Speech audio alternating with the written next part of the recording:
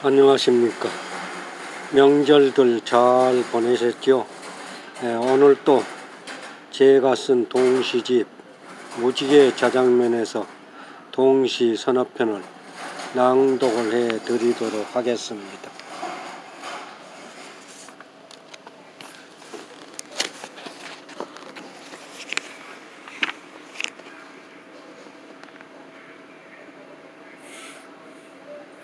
내 이름은 부추 정하선 어머니는 나를 부추라 불러요.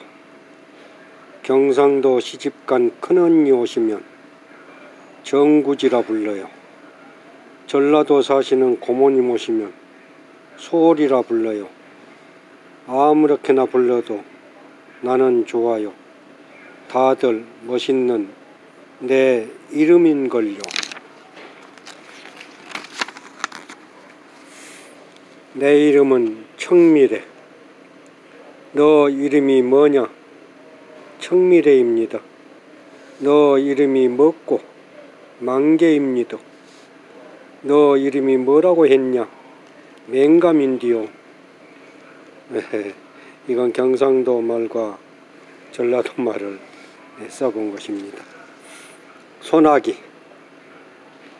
비야 비야 오지 마라. 우리 아버지 소 팔러 가셨단다. 우산도 없이 새벽장 가셨단다. 팔려가는 우리 누렁이 소 팔고 오시는 우리 아버지.